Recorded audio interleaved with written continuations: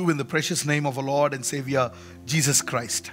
For today's meditation, 1 Thessalonians chapter 5 verse 21. I'll read it for you. Test all things, hold fast what is good. I read it again. Test all things, hold fast what is good. We need to test everything.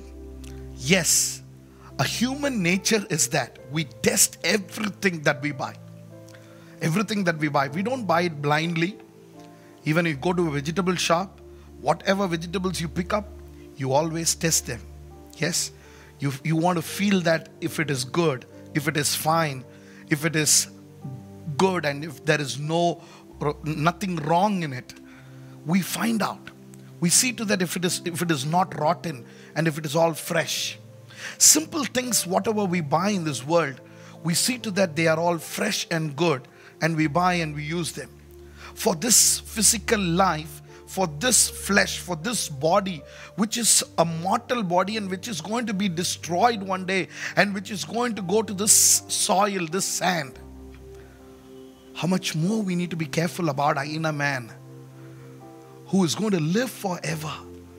Everything that he believes, everything that he is holding on, we need to test and we need to hold fast on what is good, what is everlasting, what is stable. We need to find out and we need to hold on to it. So, everything, whatever we come across in our life, test and then hold on to it.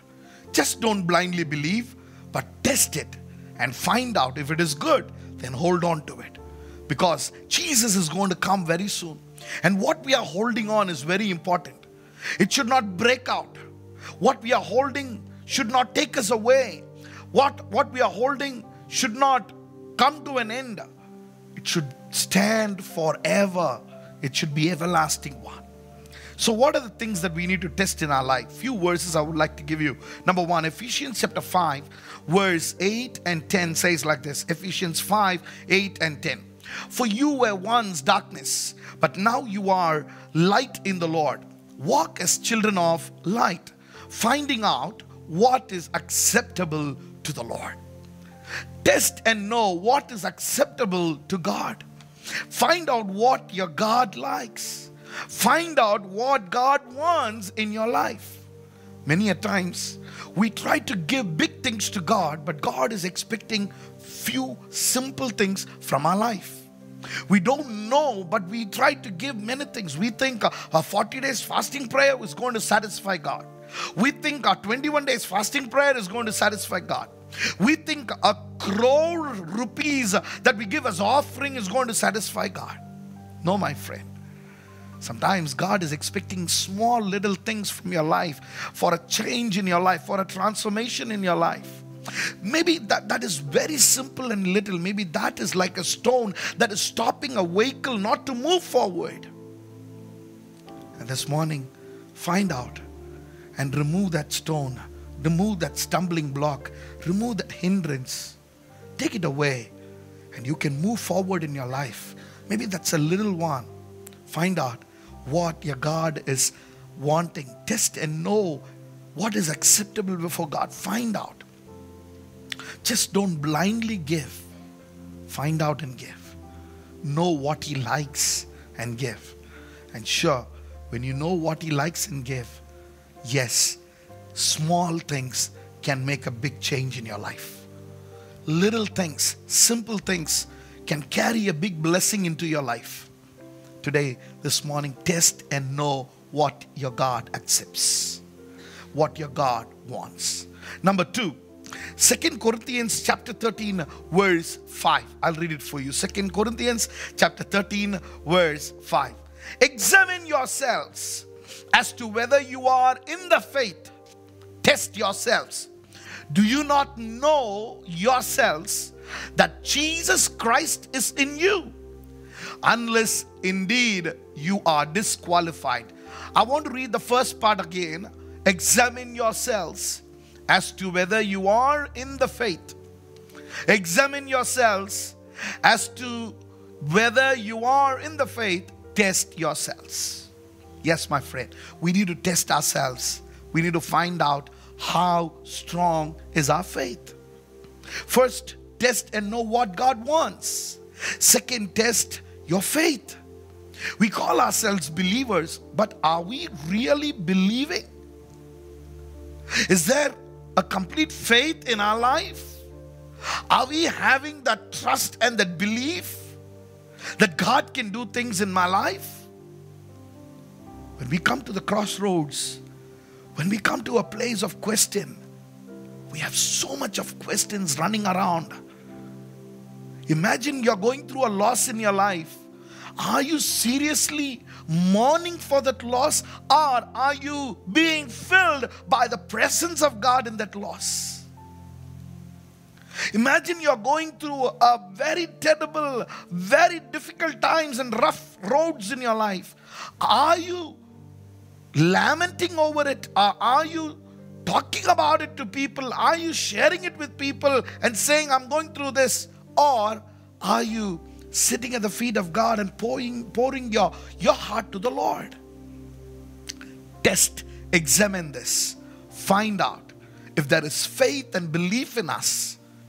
Yes, we will not lament. Yes, we will not grumble. We will not do this we will just wait for God to do a miracle and we will believe in the Lord and we will call in the name of the Lord. We will rejoice in the Lord. Rejoicing in the Lord when everything is fine is easy. But I'm talking about rejoicing in the Lord at difficult times, at rough passages. My friend, test your faith today. Is your faith strong enough? Test yourselves and find out if there is real faith in you. Number three, what does the word of God say? Malachi chapter 3, verse 10, it says like this Bring all the tithes into the storehouse, that there may be food in my house, and try me now in this. The Lord says, Try me now, which means test me now in this. Try me now in this, says the Lord of hosts. If I will not open for you the windows of heaven and pour out for you such blessing that there will not be room enough to receive it. God says, firstly, test and know what God likes. Second, test your faith. Third, test if God can bless you. The word of the Lord says, give your tithes. Many, many new, new, new, New Testament believers say, we are all in the New Testament, we need not give tithes. That is an Old Testament custom. So, what is the New Testament custom? Give yourself 100, 100, 100%. My question is if you cannot give one tenth, how can you give 100, 100%? Don't take it as an argument. Test and see if God can bless you. You want to know if tithe is right or not? Don't argue. Give to the Lord your tithes and see if God is blessing you. That's what the word of the Lord says. I'm not saying. The Lord says. God says, give and see. Yes, my friend. Test and know if God can bless you. Not just believing that God will bless you, but really witnessing it. A witness is something, someone who sees it and hears it. See, hear it, and see it that God is doing it in your life, and then witness about it. Number four, Galatians chapter 6, verse 4, it says like this But let each one examine his own work, and then he will have rejoicing in himself alone and not in another. Examine yourself, your action, your words. Test yourself. Am I living a righteous life? Am I living a holy life? Am I living a right life? Is my actions are right? Is my words in my mouth are right? Is my thoughts are right? Examine your own work. And sure, when you examine your work, God will correct you. God will put you at the right place. And you can bring glory to God. Shall we pray? Gracious, loving Heavenly Father, we thank you, Lord. We praise you, Lord Lord, help us to test and find out what is right and help us to hold on to it, for you're going to come very soon. As we heard your word today, help us, Lord, that we will test and we will know what you want. We will test and we will know our faith. We will test and we will know that you can bless us. We will test and we will know about our works. Lord, we pray that you will help everyone to walk according to your word. Bless everyone. Let your name be glorified in their life. Let this day be a blessed day for your children. In Jesus' precious name we pray. Amen. Amen. May the Lord bless you.